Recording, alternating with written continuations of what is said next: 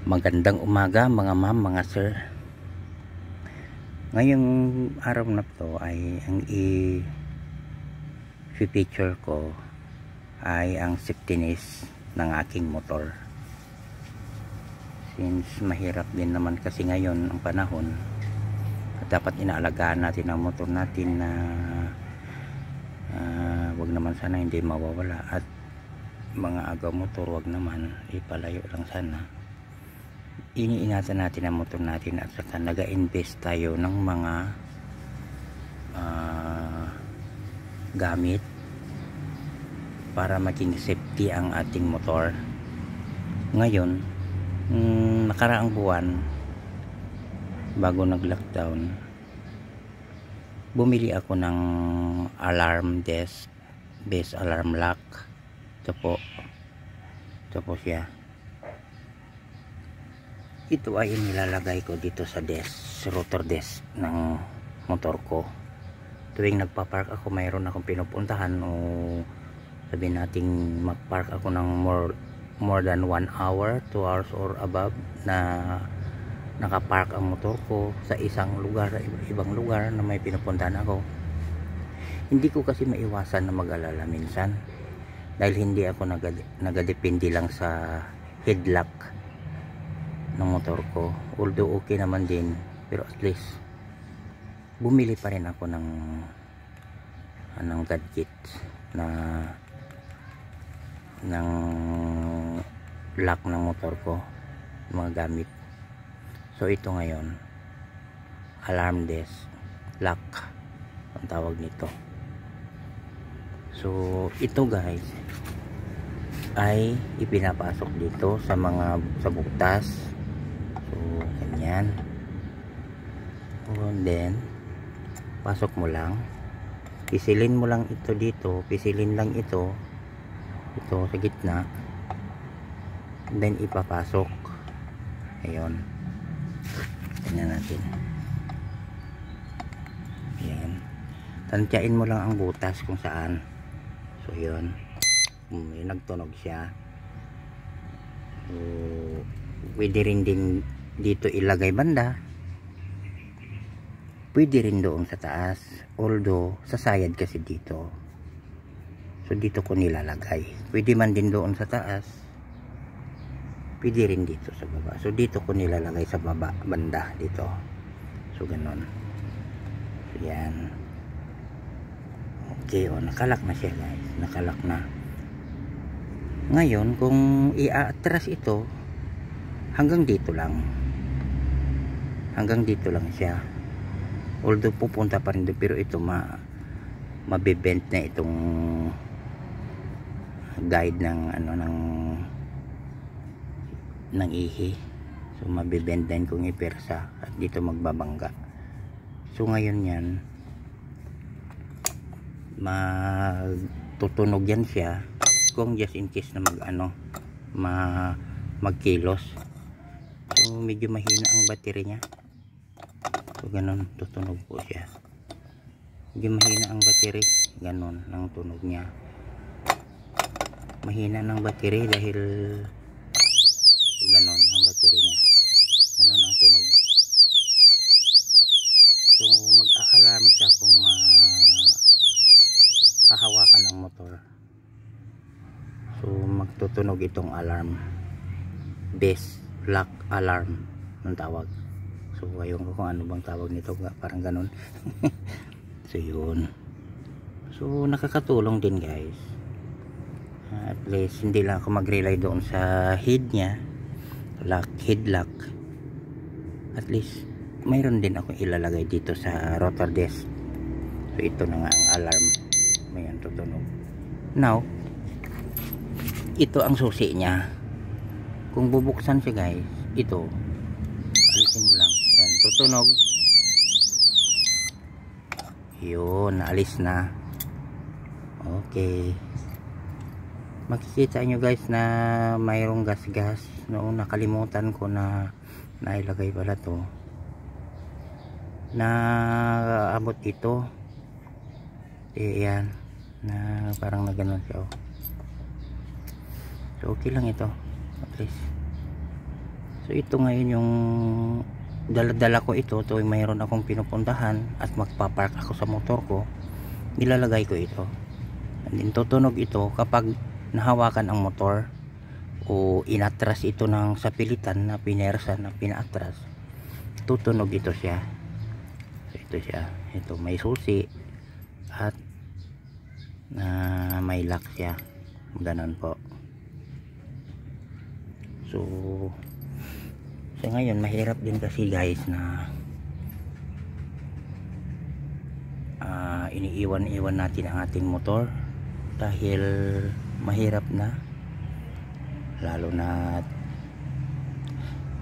takaw pansin ng motor maganda uh, latest na model so at least um, iniingatan natin at inalagaan at hindi din tayo mag-aalala. At least i-park lang natin sa maraming tao na may nakakakita.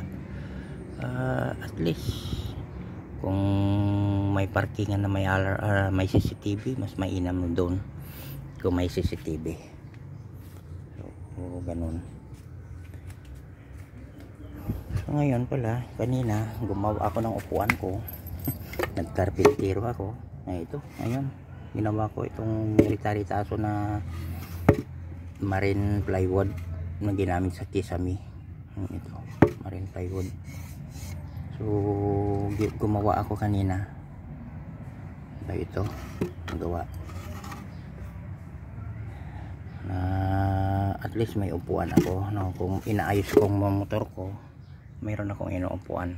Dito pa yung parkingan ko sa motor ko dito sa taas ng septic tank na nasimilro although dito yung malilim dito yung malamig dito ko nilalagay ang motor ko kung nag-ayos ako at mayroon akong gina-check up. Saka ito. Okay. Mayroon pala akong isi-share sa inyo guys. Although ang gamit ko sa motor ko na engine oil ma-share ko sa inyo. Ay Pertua. Ito guys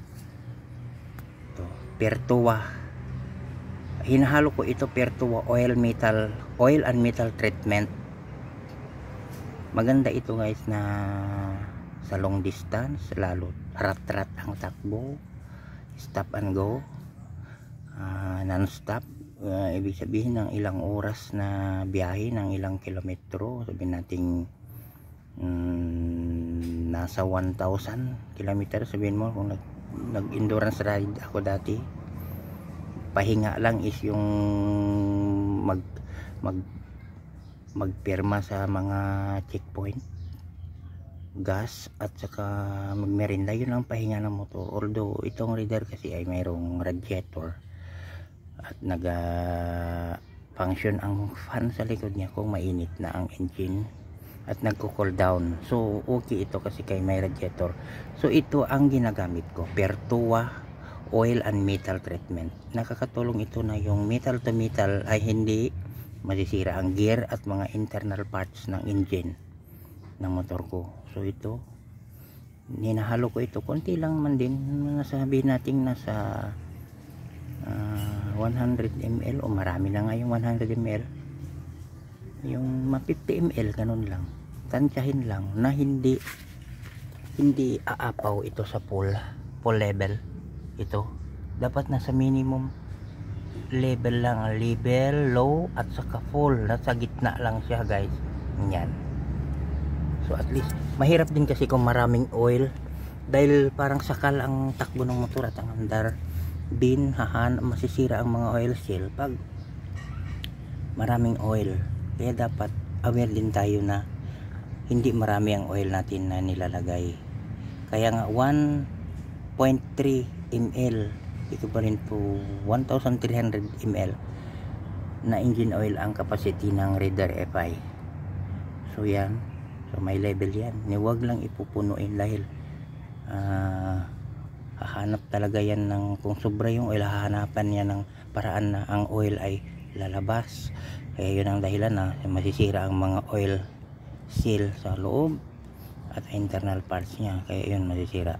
Aagos doon sa lalabas doon sa air cleaner element air filter element doon. Yung makita nyo kung minsan maglinis tayo ng oil filter ay air cleaner. Basa yung air cleaner natin at basa ang box ng air cleaner. Dahil pumupunta o lumalabas doon ang excess na oil dahil sobra ang oil natin na nilalagay sa engine. So nala sa level lang. So ganun po yan. So ito uh, importante. Mayroon tayong oil na hinahalo. Itong oil treatment itong pertua. So pertua engine oil ang nilalagay ko sa motor ko at the same time pertua oil and metal treatment hinahalo ko yun every time na mag change oil ako so ito nakakatulong ito mga ma'am sir sa ikakaganda ng engine natin at tatagal ang lifespan ng engine natin so wastong alaga lang So, yan ang mga importante guys. Kung mag long distance, sali tayo sa mga endurance ride, long distance ride. Importante, tinicheck natin ang engine oil, oil filter bago ang ating brake pad, makapal pa, at ang front at rear na brake pad. Ganon din ang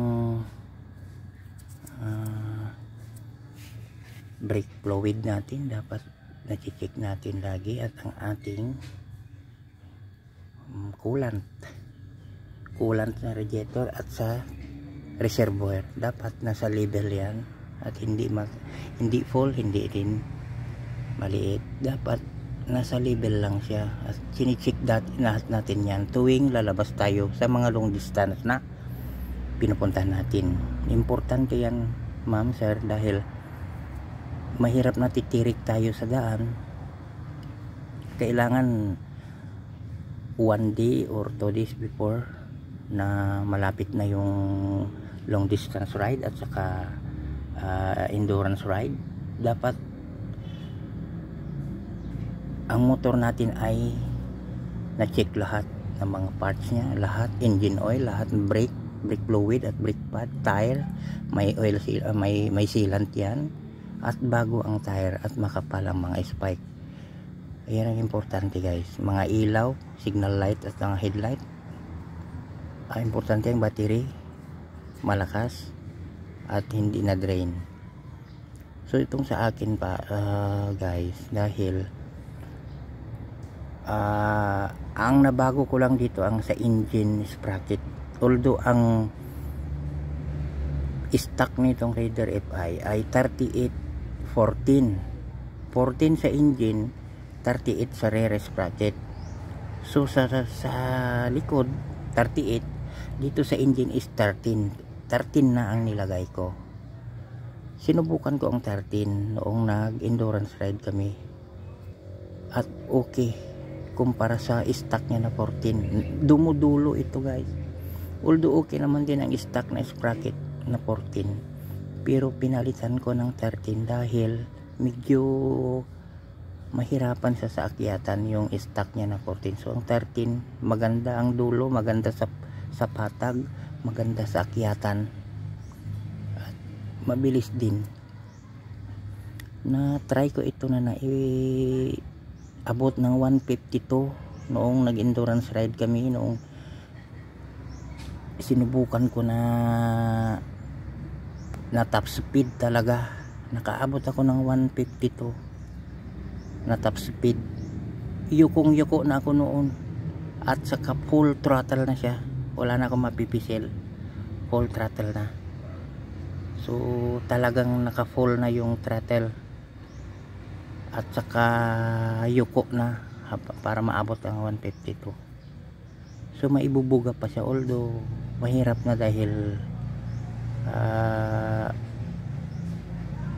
mahirap na yung daan. Ba, ba may tatawid na mga sasakyan tatawid na aso mga tao ganun mahirap na kaya ingat din pag, sa, pag-iingat din. Magratrat lang tayo mag full speed kung uh, open ang daan at walang mga sasakyan na marami. Yung open na open na street yan yan. Paminsan-minsan winawaswas ko rin ng motor ko. Dahil hindi rin maganda kasi sa engine lalo na sa piston na ang takbo mo lang is not sa 80, 90 or 100 pababa dapat iakyat mo rin maminsan-minsan. Nasa 100 above 120, 130 and 140 okay na yun. Dahil ang sinasabi nila hindi daw magkukubol o sa Bisaya. Ewan ko ang term o anong term sa Tagalog. Yung engine hindi magkubol. So at least ihataw din natin ang engine paminsan-minsan upang ang maximum speed niya ay makukuha niya at ma kumbaga ma-voice out niya kung sa busis pa ma-voice out ang busis niya ang pwersa niya. Ganun po yon so takbong chill lang ako minsan takbong pogi kumbaga kung matraffic hindi naman din yung hataw talaga so ito nag-invest din ako ng mga gamit ko. Ito mga mga tools ko. Uh, kahit ganito lang tong tools ko minsan may mga gamit din ako. Ay nahulog na. Ito nag-invest ako. Dahil ako na lang din ang nag-aayos ng motor ko. Ito siya. Mayroon akong Phillips screw na matanggal-tanggal positive and negative so pwede mong iba-ibahin ang forma. Pwede dito. Yan mag uh, ano ka pwede rin dito pwede rin dito sa dulo. So ito. So mayroon din akong uh, iba-ibang klase ng mm na ano ito? Ng ano niya? Mm millimeter itong mga bolt na maano niya ma papalugan at papapaikpitan so ito nag-invest nito bumili rin ako nito. May 10mm may 8mm may 12mm so ito dito. Mayroon din siyang 17 17mm may may 16mm may 14mm at may 19mm so ito guys um, kumbaga ilang kuha na ito ang mapapahigpitan niya. Kahit ito lang ang dalhin mo na tools in just in case na may ride pwedeng pwede na to. Din kumukuha din ako minsan ng mga tools ko kung naglolong distance ako. Yung mga light lang yung mga magagaan lang. Ito dinadala ko rin ito ito. Kay medyo may kabigatan parang almost 1 kilo ito eh dinadala ko talaga to. Importante ito sakit at saka ito. Uh, so ito yun guys. Uh, ito lang ngayon ang na picture ko sa motor ko ngayon. So ride safe. Ingat lang tayo sa pag ride sa pagmamotor at sa passion natin as a rider and then binom, binablog ko rin minsan ang mga rides ko. Kaya ito. Uh, po sanang kalimutan na mag subscribe sa channel ko like and comments. Although baguhan pa lang ako na nagmamoto vlogger last month lang May nung nagumpisa ako. So ito pinipicture ko itong napupuntahan ko sa rides ko at ang motor ko na rin inaayos ko pinaputingting ko paminsan-minsan. Kaya uh, ingat lang tayo guys at salamat sa panonood. Hanggang sa muli nating pagkikita. God bless and ride safe always ma'am sir din. Uh, ingat lang sa ating passion as a motor rider. God bless. Thank you